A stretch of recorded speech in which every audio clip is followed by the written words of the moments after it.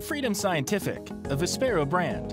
Hello, everyone, and thank you for downloading or streaming this training on Facebook and JAWS. So, we're talking about the main website, not the mobile site, but we're going to be showing you how to use Facebook with the quick nav keys. That's the JAWS quick nav keys. For example, H to navigate by heading, B for buttons, things like that.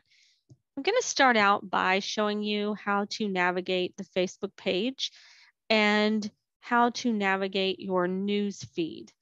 So I'm here on Facebook and I'm at the top of the page and I can make sure of that by pressing Control Home. Facebook.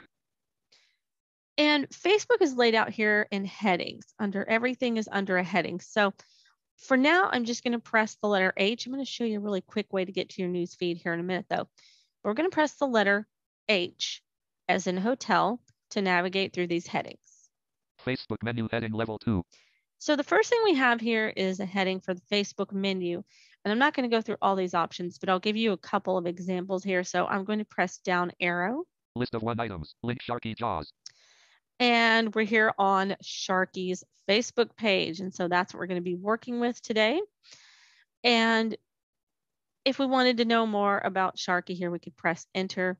We're not going to do that right now. I'm going to keep going down. List end. List of 10 items.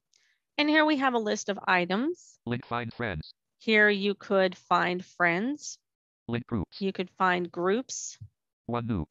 Link marketplace. You could go to the marketplace if you want to buy or sell something on Facebook. And so you just have several options here under this menu. All right, so I'm going to keep pressing the letter H. Home heading level 1. There is the home heading. Stories heading level 3.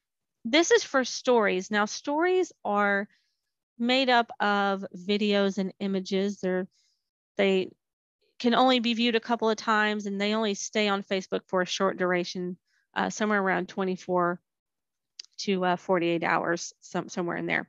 But they're not text, they're made up of videos and images. So that is different from the news feed. I'm going to keep pressing H. Create a post heading level 3. This is where you could create a post. I'm going to press down arrow here.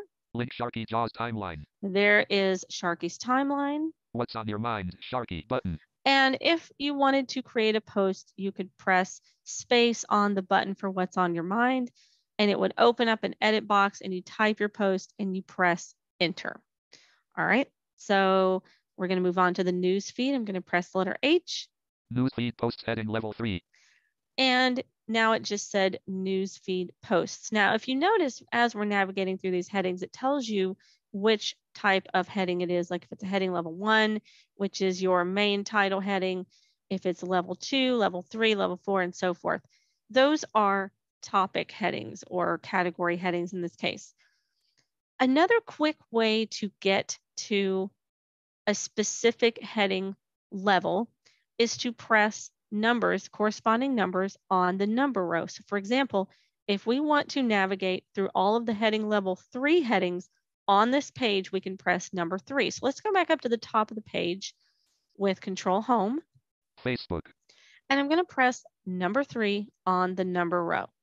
Home heading level 1. Stories heading level 3. Now JAWS read the heading level one there because that was in focus for a second and it went right on to the next heading level three. So let's keep pressing it till we get to newsfeed.